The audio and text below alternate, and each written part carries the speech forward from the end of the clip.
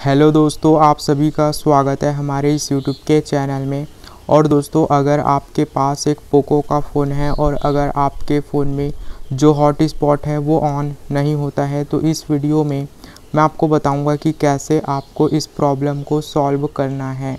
तो चलिए video start करते हैं, मैं आपको बताता हूँ। तो यहाँ पे आपको सबसे पहले अपने फ़ोन में सेटिंग को ओपन कर लेना है।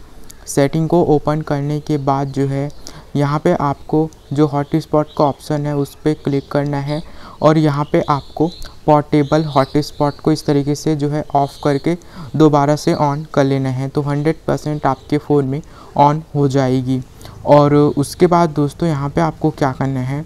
अगर आपके फ़ोन में फिर भी ये ऑन नहीं होता है तो यहाँ पे आपको अपने फ़ोन को एक बार जो है स्विच ऑफ़ करके दोबारा से ऑन कर लेना है। ओके तो इस तरीके से आप अपने फ़ोन को स्विच ऑफ़ करके दोबारा से ऑन करेंगे तो उसके बाद आपकी जो प्रॉब्लम है, वो हंड्रेड परसेंट सॉल्व हो जाएगी।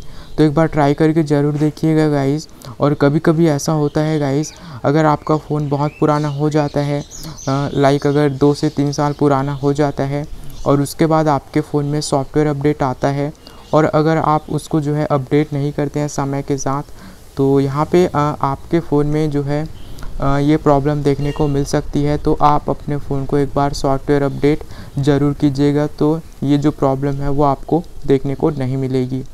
तो इसी तरीके से गाइज़ आपको जो है इस प्रॉब्लम को सॉल्व करना है।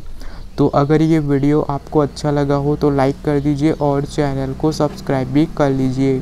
तो चलिए गाइस मिलते हैं नेक्स्ट वीडियो में।